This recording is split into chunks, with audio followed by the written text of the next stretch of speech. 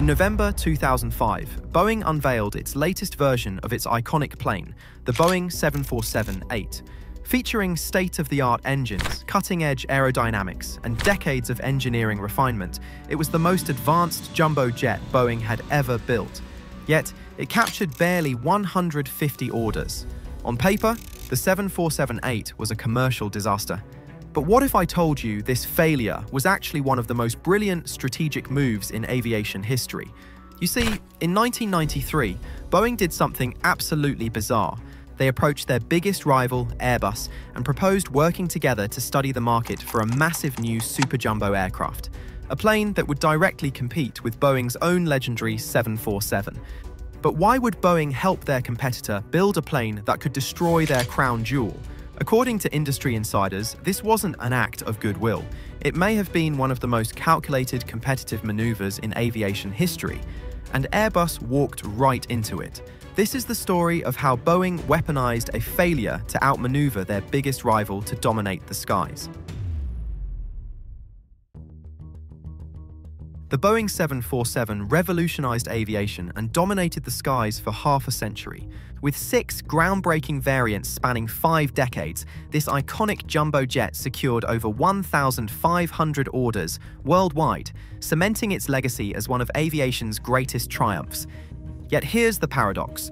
Boeing's crown jewel, the cutting-edge 747-8 managed to capture barely 150 orders, representing a mere 10% of the program's total sales.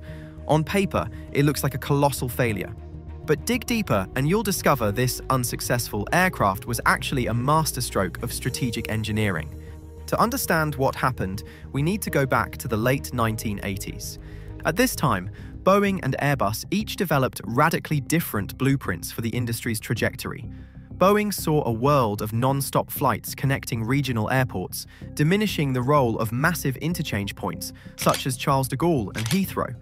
This model would cut travel time and ease airport congestion, but required developing a fuel-efficient twin-engine plane that could turn a profit on routes with modest passenger volumes.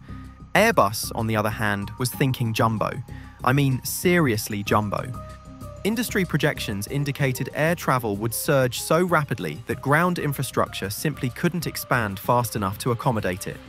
Airbus leaders became convinced that a super jumbo aircraft transporting 500 to 600 people at once was the only practical response to this looming capacity crisis. Even though Airbus had developed solid aircraft like the A320 and A300, Boeing still dominated the industry, and they had one aircraft that Airbus just couldn't compete with the legendary Boeing 747. Its massive size and iconic hump made it synonymous with international air travel.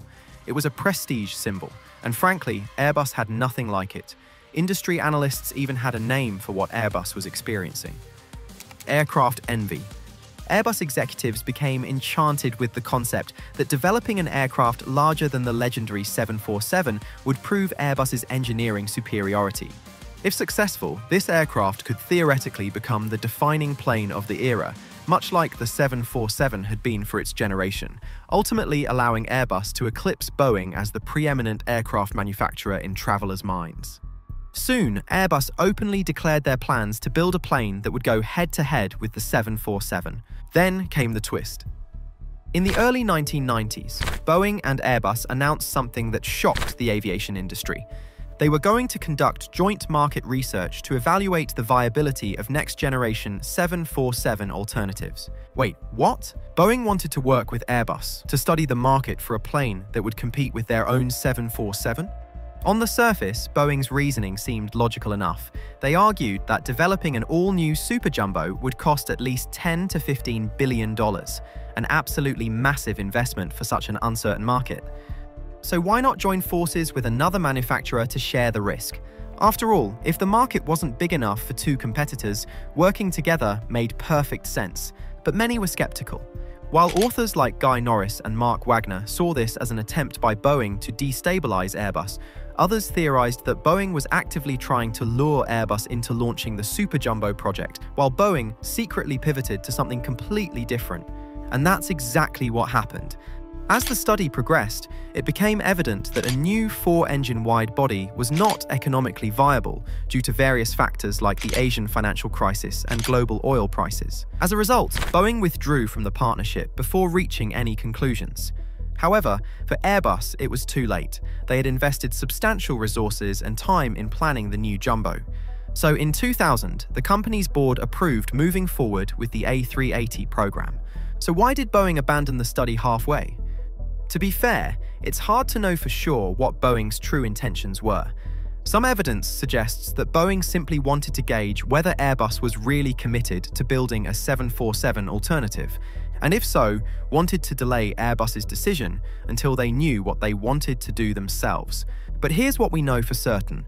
Boeing and Airbus drew radically different conclusions from that exact same joint market research, and I mean radically different.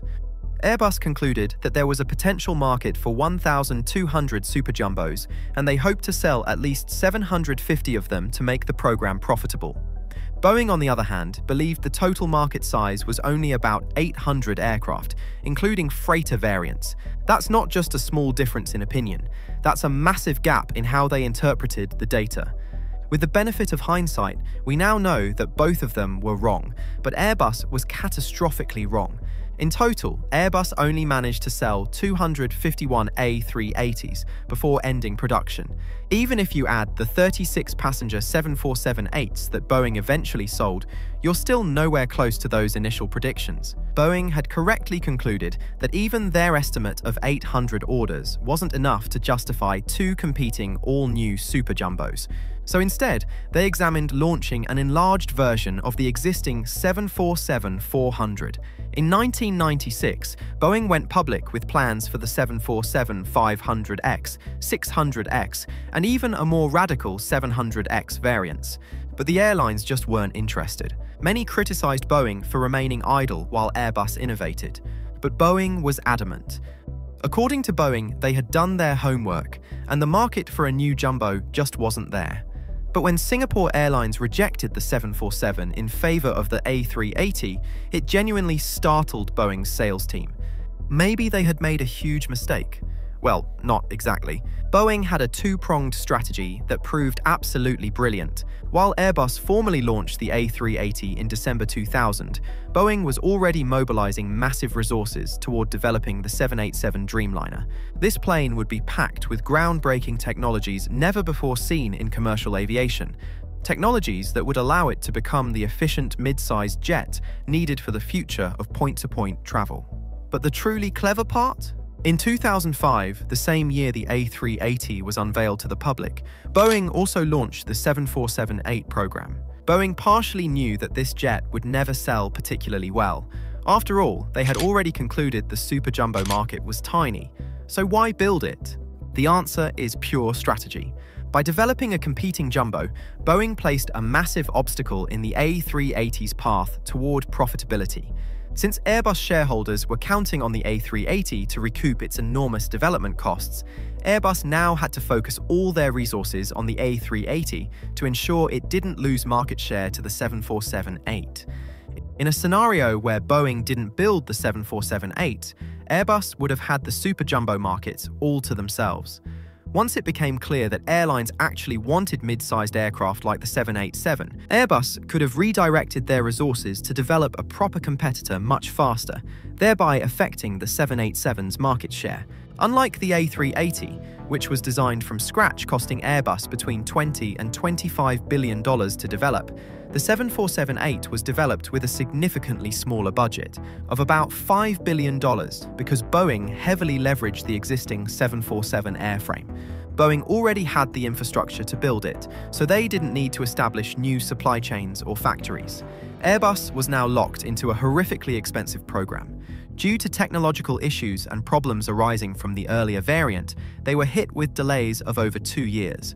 As a result, they had to abandon plans for a freighter version, losing 20 orders from FedEx and UPS in the process. Meanwhile, the 787 absolutely dominated. It outsold the A380 7 to 1. And when you look at what Airbus offered to compete with the 787, the picture becomes clear. It wasn't until 2018 that Airbus delivered the A330neo, a full seven years after the first 787 was delivered. Moreover, the newly introduced A330neo lacked many of the advanced features that made the 787 so efficient, including its carbon composite fuselage and wings. Between having their resources locked up in the A380 and developing the A350 to compete with Boeing's 777, Airbus simply couldn't build a compelling 787 competitor. As a result, the A330neo has garnered just one-fifth of the total orders of the 787. In the end, Emirates was the only airline with the kind of hub and spoke network that could effectively use the A380 at scale. They bought 123 of them, almost half of all A380s ever made, and they would have bought more if Airbus had offered a re-engined variant. But with no more orders, Airbus announced in 2019 that the very last A380 would be delivered to Emirates in 2021, Ironically, Airbus launched the A380 partially out of prestige, wanting to build something even more iconic than the 747. But they ended up stopping production of the A380 before Boeing stopped making the 747. The plane that was supposed to replace the Queen of the Skies ended up having a shorter production run than the aircraft it was meant to defeat. To be clear, Boeing's strategy wasn't the only reason the A380 failed or the 787 succeeded. The success of an aircraft program depends on countless variables. But looking at how this all played out, it's hard not to wonder if Boeing knew exactly what they were doing when they approached Airbus with that joint research proposal back in 1993. Whether it was an intentional strategy or just brilliant opportunism, the result was the same. Airbus spent $25 billion on a plane that lost money on every single sale, while Boeing dominated with the 787. So, was this all an elaborate strategy by Boeing, or did Airbus simply make a massive error on their own? The truth is, the answer probably lies somewhere in between. What we do know is that Boeing recognized Airbus's ambitions and potentially used joint research to encourage those ambitions while they pivoted in a completely different direction.